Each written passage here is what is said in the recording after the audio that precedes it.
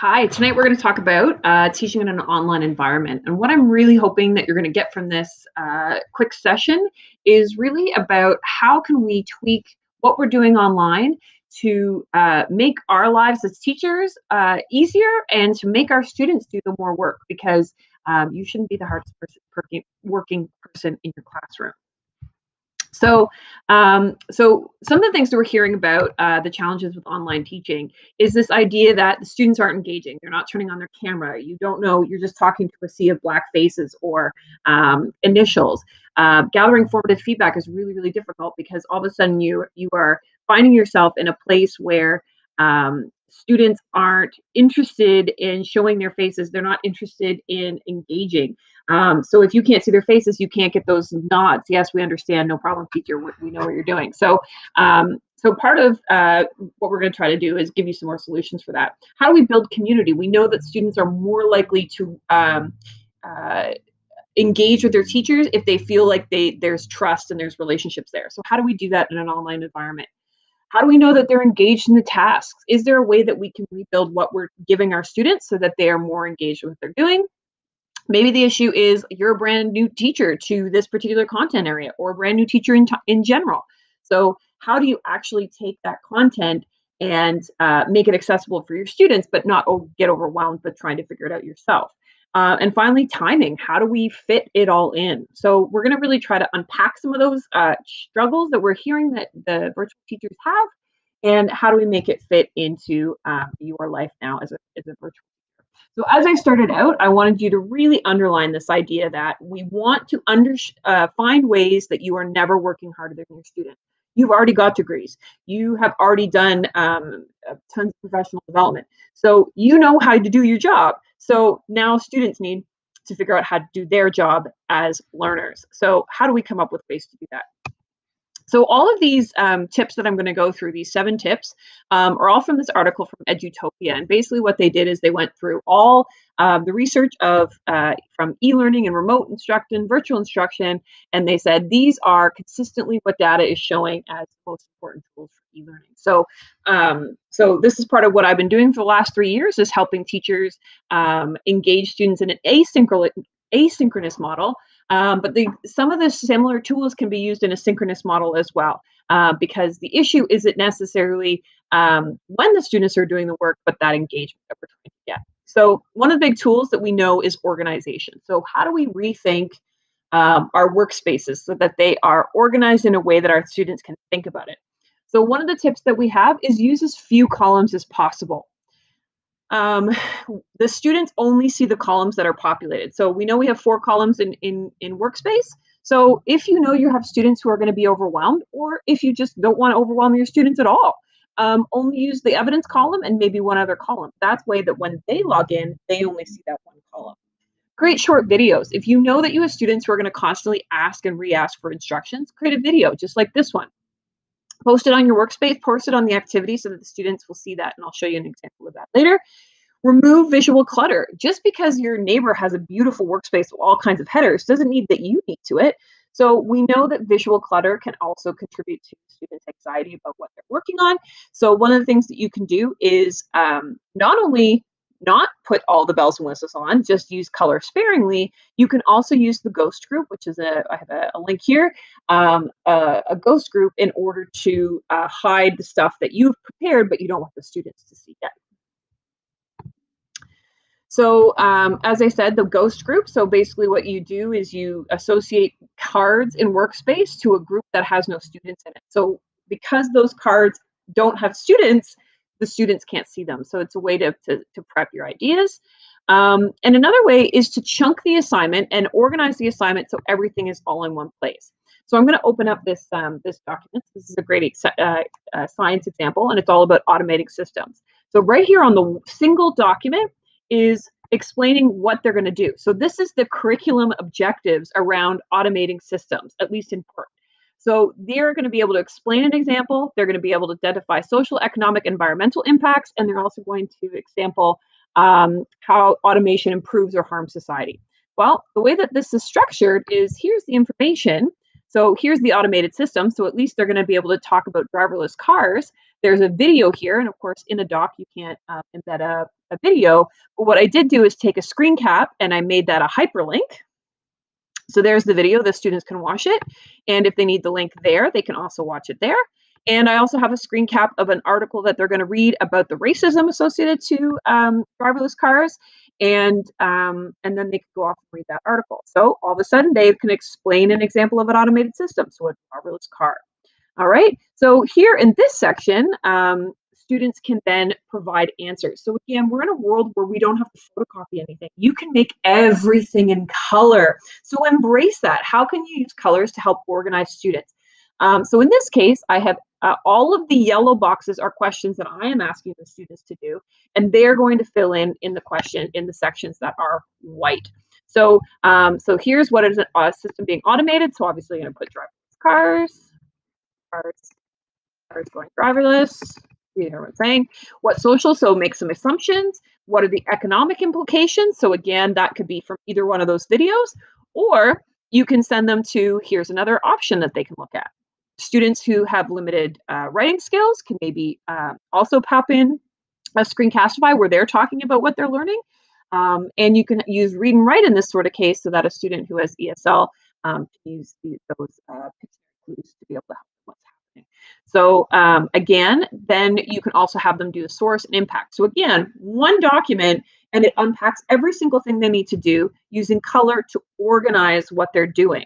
One of the other things that's handy up here is, as I mentioned, here's a screencast of the instruction. So this tells the students, here's the assignment, here's what I want you to do. So if they forget, they can just keep going back and listening to that. Oh, I don't remember, she said something else. I can go back and listen to it.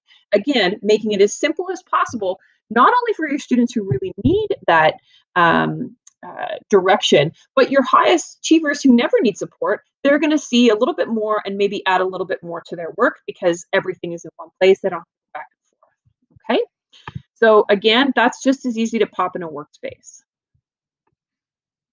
So just like in the in the example I showed you, it's really about chunking. Here's the idea, here's the space to do it. Here's the idea, here's the space to do it. So, and again, what we want to concentrate on, especially if you are dealing with content that you've never dealt before, is deal with the overalls, the big ideas. What we're trying to do here, friends, is get kids to love learning. Who cares if they can list the components of a cell? What they need to know is cells are the function of all living things. And why does that matter? Well, when we get cancer, it's because cells are going crazy. When we get limp celery, cells are losing water. These are really basic concepts, but it's more about understanding the big picture and not those minuscule pieces of information. And one kid might come up with something very different than the other. So again, ride the idea of the big waves and everything else will trickle down. We also know that students have a reduced capacity to work online. So we can't expect them to do the exact same thing that we've done face to face. It is impossible for you and it is impossible for them. So just let it go. Have them just enjoy the courses that you're teaching. We know that minimum videos are six minutes. So, of course, the great irony is this is going to be a half an hour. Um, but what we know is I can pause this every six minutes, go and do something, come back and listen to it a little bit more. So that's the beauty of recording is that I can chunk it for myself. Um, there are some other tools that you can use to actually force students to chunk uh, chunk reading and, and, writing in this case. And um, and we also know that we need to balance heavy ideas with brain light activities. So I'm going to show you some of those examples. I also wanted to show you that you can actively use uh, the internet. So Google search, so this is a plain um, Google search where I search for liquids. If you select videos, then tools, you can actually change the duration. So we know that students only handle something less than six minutes. So here's an opportunity to choose a four minute video. Okay, so just a little hack for, um, for those people who wanna know that. So as I said, chunking is really important. So part of that is also heavy duty ideas, heavy duty with brain breaks. So there's a few different things here. So for example, here's quick draw. So I'm going to just pop that open. And basically what quick draw, oh, I've got it in French here. My French is not very good enough for me to, to do this. So here it is in English. So I'm going to hit let's draw. And again, I got my handy finger and I'm just going to draw on my screen here. I'm going to use my mouse. So I'm going to draw a suitcase. So there I am. I'm going to draw my suitcase. I see square. And you can hear her. Oh, She's going to actually It's going to guess. And again, you can think about the power of this in some of those other languages. So now I'm going to do an oven. I see square. Um, cooler. that's more of a stove. Oh, I know. It's oven. Okay, so now it's a necklace. I see grapes. Oh, I know. It's necklace. So again, really, really fast, especially for um, uh, I see square. for, for French. Camera. You can have them do this Or in French, and she guesses. She guesses in French, which is really handy. Oh, maybe this cup. I don't know. Um, yeah. I so she's coffee. she's running out of time. I don't know. So so this is the Sorry, idea: is that you you get it. again. Um, you, you could go in and play with that, and it's again a five minute break, or you're waiting for students to come. You can have them jumping on and, and playing with that. Google Earth will change your change your world. It has so many cool tools, but again, there's so much heavy things you can do it. But part of that is having them play with it. So I'm just going to jump jump into. So this article here talks about all the things that Google Earth can do, and it's not geography. It's science. It's religion. It's um, storytelling, it's uh, English language, it's literacy, all of those things. And one of the things we really love is this little uh, on the icon. There's a little uh, dice, which is you're feeling lucky. So you hit that button, it's going to take you somewhere in the world. And then there's a little side, side panel that'll actually go through what that looks like. So again, I really, really encourage you to play. And it also has all these tools along the bottom where you can do education, traveling, um, uh, oh, back.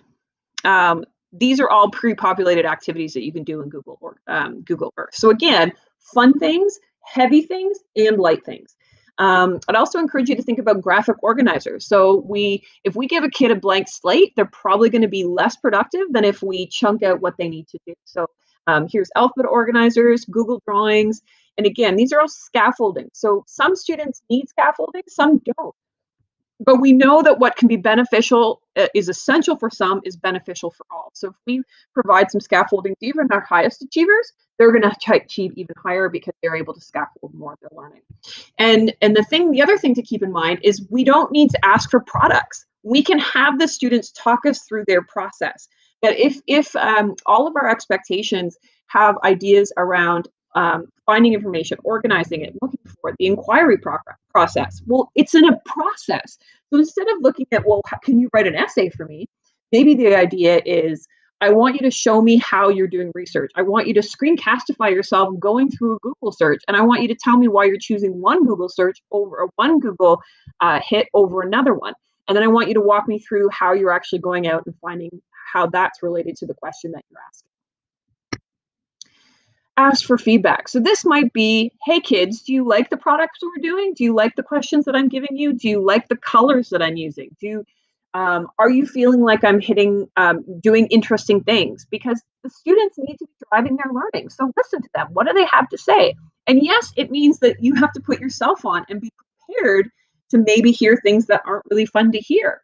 But if it drives you in forward, and especially if you have this class all year, it's it's going to make all the difference in the world to whether you could be successful okay so there's lots of different ways to get feedback so um, so you can use um, different types of tools so get students to have a variety so if you know very clearly what the expectations are these are the expectations i need to do these are the success criteria then it doesn't matter how the students show you that learning as long as they're showing you the learning so if the idea is, we'll go back to my automated system. So if the idea is what is an automated system, then the students can show you that they understand that in a variety of different ways.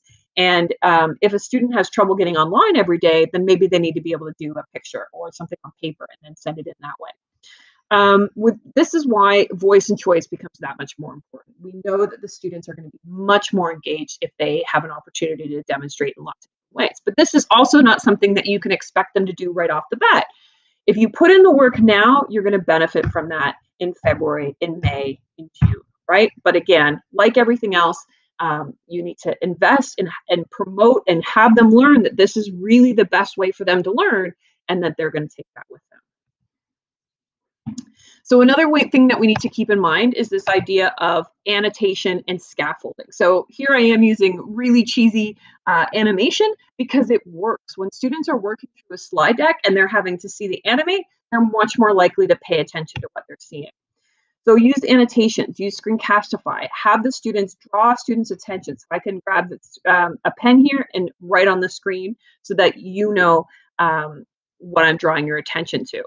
Um, use Google Forms, Pear Deck, Edpuzzle. I'm going to show you an example in that in a second. Or you can even use something like a Google custom Google search. So I'm just going to show you what that looks like. So essentially, I have um, a search here where it's Canada on the home front. So when I push that out to the students, it's only going to take those students to the um, the websites that I've allowed them to to access. So um, so if I pull um, this Canada homework, um, so this is I just grabbed the link here. So now I'm going to um, I'm going to look up the word king because king was important. So all of the resources that they're going to get here are only resources that I have said that they can look at. So it's CBC, it's Veterans Affairs, it's um, Canadian Encyclopedia. Um, so all of those um, those bits and pieces um, scaffolds the internet for them, so they don't get lost all over looking for all kinds of stuff. And this is especially important in something like French language, where you can give them um, French language resources that they are going to be able to comprehend that is a skill level that they can comprehend so that you they they aren't going everywhere on the internet trying to find something. They're going to a very specific set of, um, of questions. So really really great way to scaffold kids research. Um, edpuzzles another great tool um, but essentially, what it does is there's all kinds of um, pre recorded videos, but as the video plays, it stops and then forces a question so that the students have to engage with the question before they can keep watching the video. Um, it also has a dashboard so that when I go back, I can look at the video, I can see who did it, who watched the whole thing, who um, who got the questions right. So there's all kinds of preloaded stuff. And again, once you have that Edpuzzle link, you pop that in the workspace, and the students again are doing the work. What does that mean? Well, if they're watching a 20 minute video, well, you are having an opportunity to work with students who might need uh, more direct support, but the rest, the bulk of the class can be doing this video, right? So it's just another way to, um, because again, that's still synchronous. You are synchronously working with direct students who need the support, but the rest of the class is doing something independently. Think about how often we do that in our face-to-face classrooms where um, they're watching a video, but I'm having little conferences with students um, to talk about work that they're doing or maybe things that they're struggling on. So how do we do that in a in a in a a virtual environment because we don't need to be sitting in front of 30 of them every single moment of the day. So again, these are ways to force them to do some activities, but then you get the feedback about their engagement. And again, there's some suggestion here. What we're really trying to do is when we talk about those big ideas, if we do quizzes and um, well, I'll put it on the next one. So Want to, um, want to create amazing oops. video lessons in minutes? Edpuzzle. Okay, so um, so again, you might have a Google quiz. So instead of it being about marks, so that the students have to go in and, and get the marks, make it about mastery. Say to the students, I don't care how many times you take this quiz. I care that you get 90%. So either you know the answers to the questions or you go and find the answers because either way you're learning information you have either demonstrated that you retained it or you're like, I don't know the answer and I'm going out to find the answer. So again, in a Google slide, uh, sorry, a Google form, I'm going to know how many times those kids have attempted those questions. And I would be able to use that to inform my observations or conversations.